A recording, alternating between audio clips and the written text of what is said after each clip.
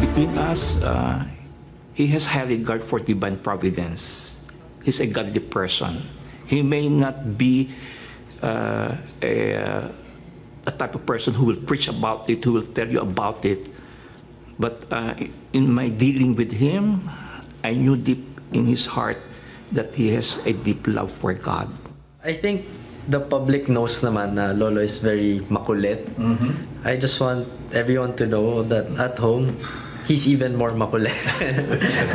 Sobrang The makulit. luxury of family. He- He's very near to his people. Kung natutulog kami sa bunker, kasama yung mga tao. Yung mga tao could not believe na si acting chief of staff natutulog sa bunker. Masabi mo talaga, ibang commander siya. Kung ano ang natikman ng tao, kung ano ang experience ng tao, ini-experience din niya. Pag sinabi niya, starting next week, all our jumps will be equipment jump. Even at night. Equipment jump. He will jump not only with the equipment, meron pa siyang one case of San Miguel beer dito. Para ipakita na jumping with your equipment is not difficult. Basta ipapakita mo na niya. Siya muna ang everything that our our unit or people in under training went through. Siyempre, pakita mo na niya na he can do it. Setting a very good example. I had to go back down, look for FVR, and then presented my problem to him. And he said, Don't worry about it, your dad is safe. And my father was an opposition leader. So that was my first meeting with the former president. My impression then, he was a no nonsense person. And when he said that, you know, your father is safe, I knew my father was safe. So that, that- there's that, you know, you, you, you know, there's somebody that you can, you can trust. The next time I meet uh, FVR, he was already gearing to run for the presidency. I look at his background, you know, military officer, and uh, he, if he has got personal ambitions, he could uh, dispose somebody and say, I want to rule. But, but he's not that. He, I believe that he is a firm upholder of the rule of law. And what impressed me about him was um, that he would always be the best prepared among the cabinet members.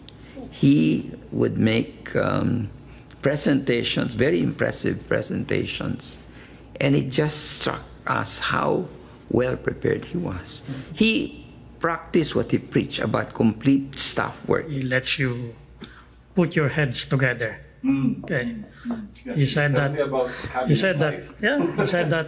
Don't come to me if you are a cluster. Don't come to me with several recommendations. You submit one recommendation wherein all of you agree to the recommendation. so you're forced to work with oh, them Ano and come up with a solution. matters or documents that I sent to him in the morning will be acted in the afternoon. Mm-hmm. It will be back to me with the actions already indicated by the president, approval or disapproval. And uh, ma- papers that I sent to him in the afternoon will come back to me in the morning. No backlog. He's known for his legendary temper also. I mean, he, he- you could get a bawling out if you, if, you- if you did the wrong things or said the wrong things or essentially uh, don't do your job well. That is the legacy. His adherence to the uh, constitutional system of governance. The one good thing I learned from him also is complete staff work.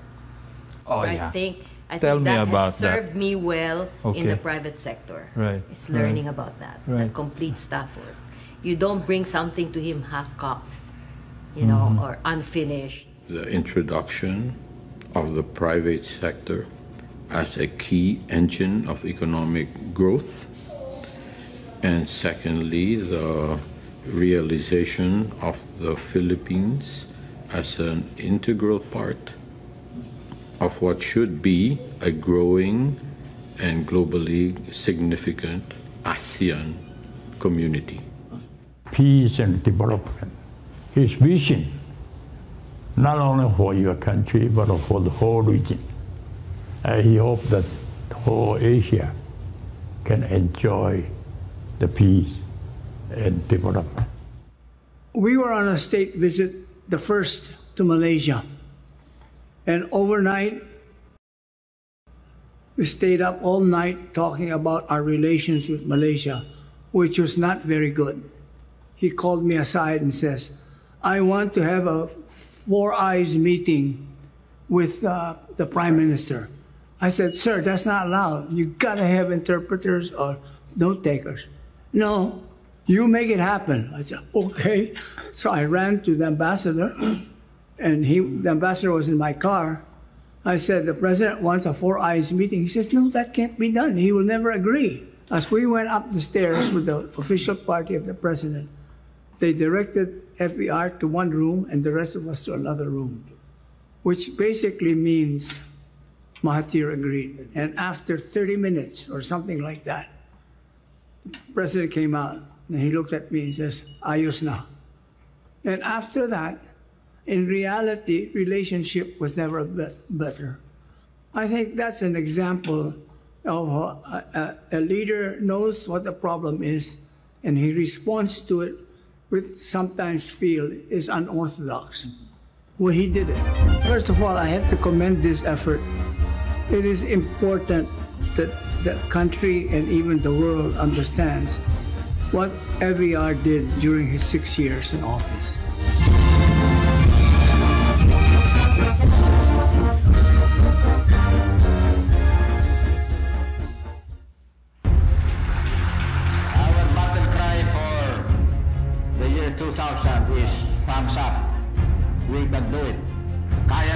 Ito mga Pilipino. Magkaisa tayo, magsama-sama tayo, magtulong-tulong tayo.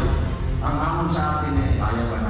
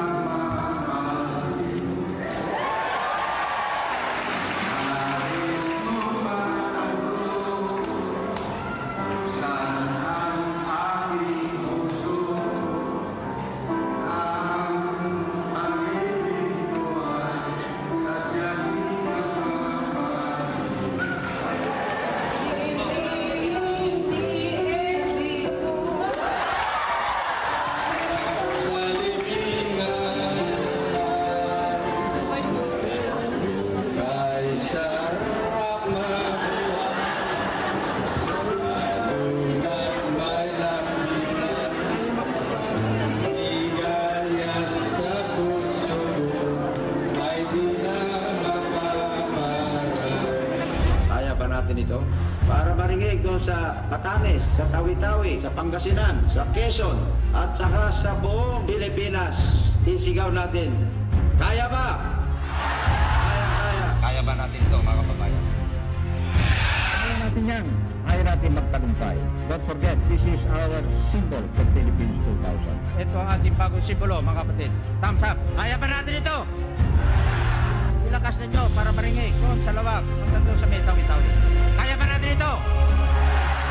Alam nyo, sa atin sa Pilipinas, lagi nating ipinagmamalaki yung ating tinatawag na bibingka. Hindi ba ba? Ano ba itong bibingka ng Pilipino na sinasabi ng ating Pangulo? Yan po ay yung donut na walang butas sa gitna. At yan po ay niluluto sa pamamagitan ng paglalagay ng apoy sa ilalim at apoy sa ibabaw. At yan po ay binabalansin natin, di ba? Balancing, balanse. Very well balanced. And one without the other is going to result in a cooking failure. Ngunit kung tayo ay marunong magluto ng bibingka, naku, napakasarap ang resulta. Hindi ba? And that precisely symbolizes our economic growth program. I use three words to emphasize this particular point that we must always remain unity and solidarity leading to teamwork. Kaya ba ninyo ito? Napakahina sagot ninyo. Hindi, sabay-sabay. Sandali lang. Taas noo, lahat tayo mga Pilipino. Teamwork. Kaya ba? is this coming? And in many areas, the best has already happened.